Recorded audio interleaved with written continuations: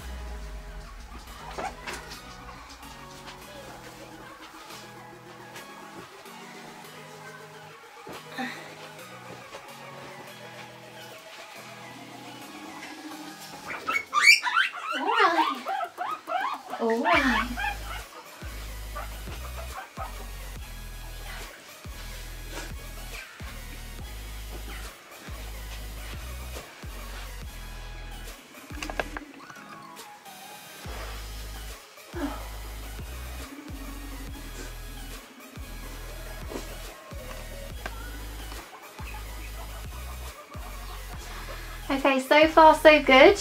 I'm out of breath trying to catch him from the cage. Um, he's rumbling around, which is completely normal, and that is normal thing. Bum sniffing is, there's lots of things that are completely normal, and the behaviour right now is nothing to worry about. So, it is very good signs at the moment. So they're just walking around, exploring, getting to know their surroundings.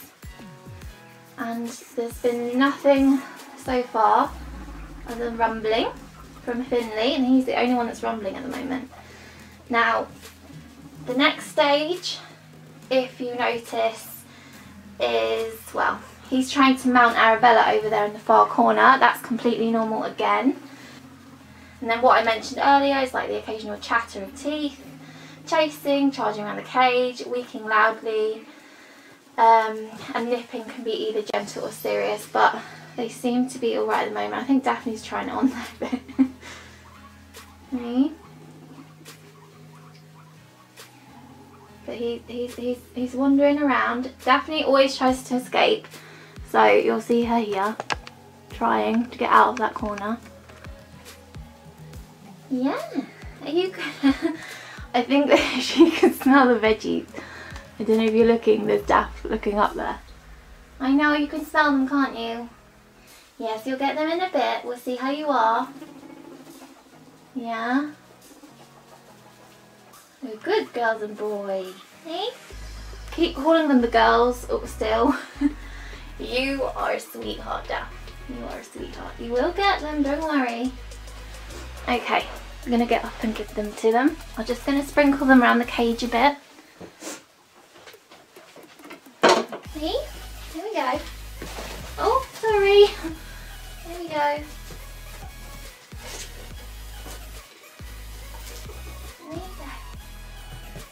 Clara.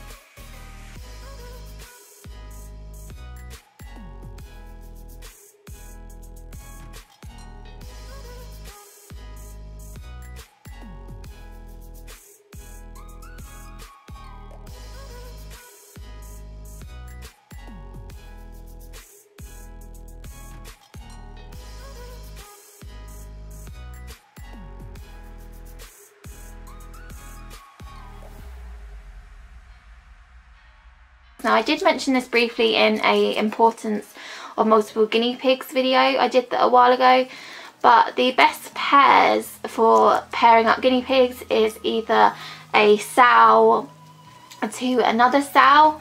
They can be sometimes tricky. It depends if you're getting an adult or a baby. Babies tend to be the easiest to bond with other babies but also adults. Another pair that's really good is a female to a neutered male or a neutered female to a male. So generally they get on really well. The hardest pairs to do are two adult boy piggies and also sometimes they stay hard maintaining as well, two boy piggies stay hard maintaining. But you can see there's some more dominance behaviour here. A lot of squeaking going on, which is completely normal again. There's no lunging or fighting or anything. There's some nipping just to tell each other off. Well, I think mainly Finley off. You can't come out here, eh? You can't. Um, but he seems to be very, very happy. You can see, look at him popcorning. Leonardo, he's so a Leonardo DiCaprio with that hair. Should have called him Leonardo to be honest. Hmm? like a little wig running around. Yeah? And Daphne's trying to... Daphne surprisingly, can be surprisingly dominant and you wouldn't think it.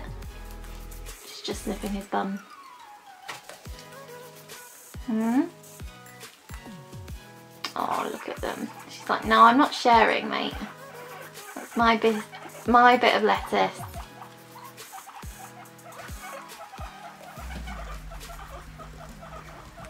Have another bit. There we go.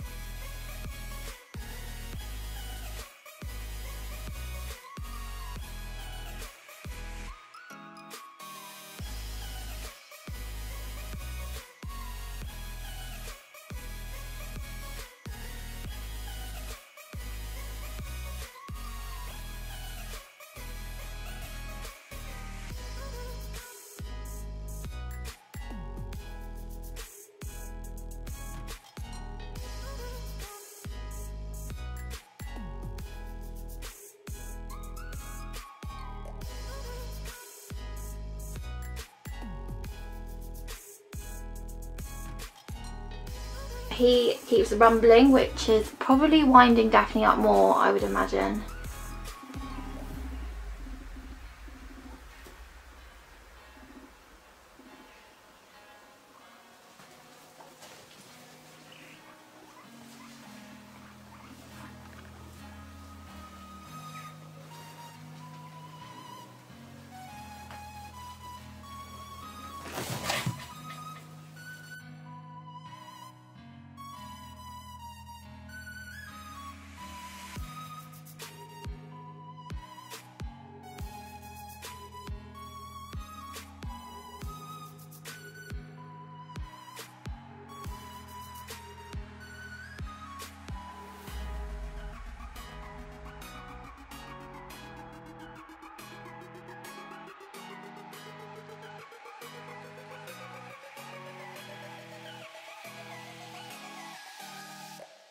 Hi everyone, it's Charlotte here again. I'm just updating at the last part of this video really. I think it's probably going to be the last part of the bonding video.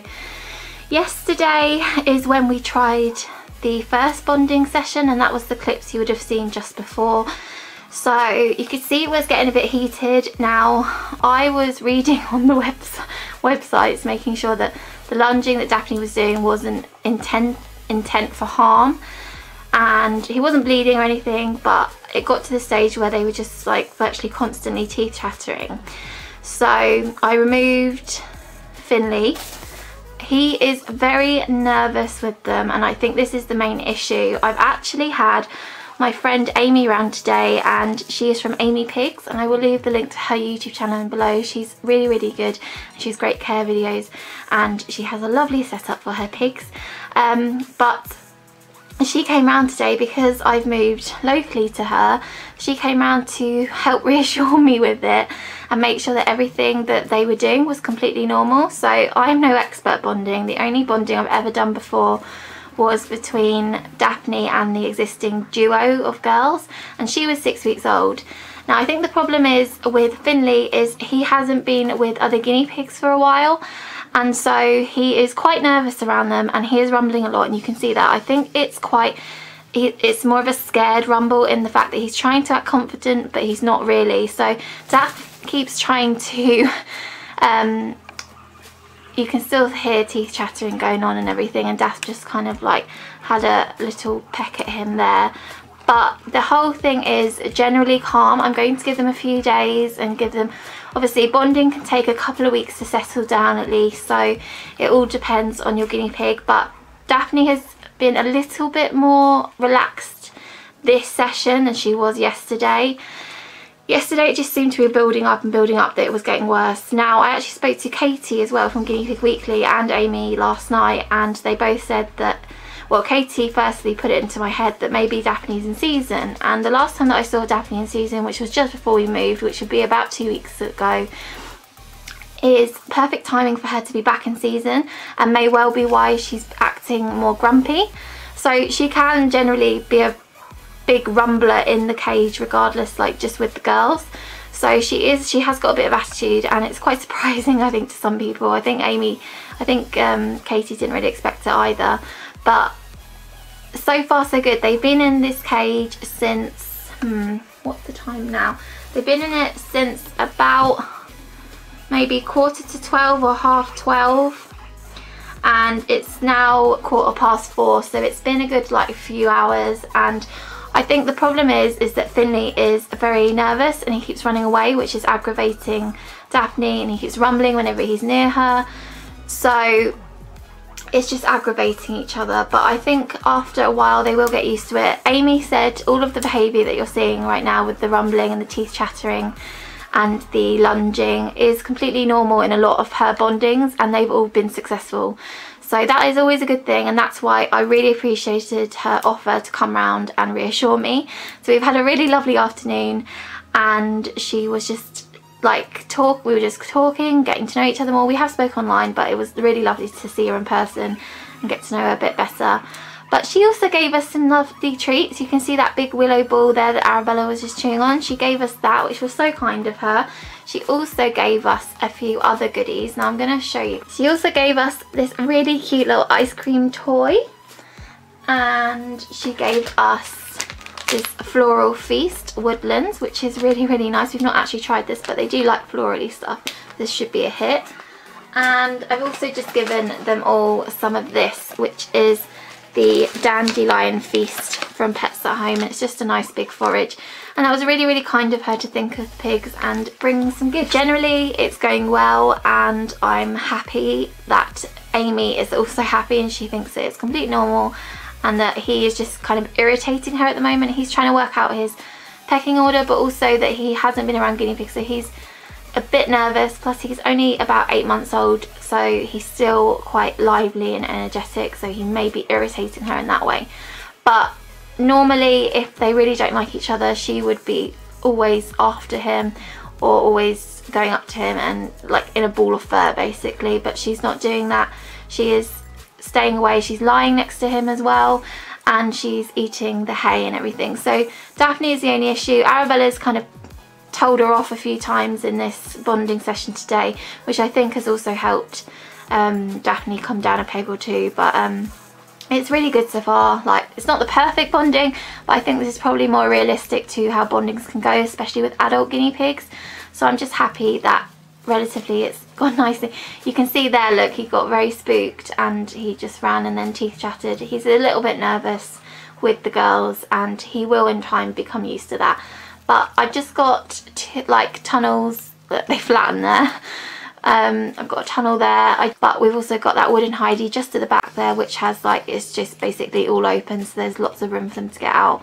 Got a few toys in there, some obviously hay piles, which have merged into other ones. We've also got water bottles, and you'll see a little fluff ball, little Daphne, the little diva down here.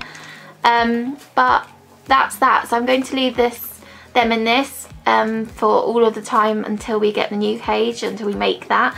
The wood arrived for that today, so that's good. That's definitely a start. So, But they've got everything else they need. They've got a nice big space to run around and get away from each other if needed and lots of hay to eat and some forage. So anyway, I'm going to leave them to it and thank you so much for watching and I hope you enjoyed this video and I hope you it sh showed you and gave you some advice if you are bonding your guinea pigs. I am nowhere near perfect and I am a big warrior so I find it really hard to do things like this and I don't think out of choice that I would get a fifth pig again because I don't think I could do this. I also spoke to Amy that she said that four is a really good number. I'm really, really happy. So I'm happy that they're actually getting along. Obviously there's a few tiffs and a bit of dominance issues, but overall they're being all right. So there you go. You can see Finley and Arabella there, but she's she's showing some dominance with him as well. But they're okay. So I'm going to leave them to it, but he's he is backing down, but so that is a good thing that hopefully he will, you can't see there, but he will give in. But it's generally been calm before, so I'm happy to leave them alone. And um, that's that. So thank you so much for watching and I shall speak to my next one. Bye!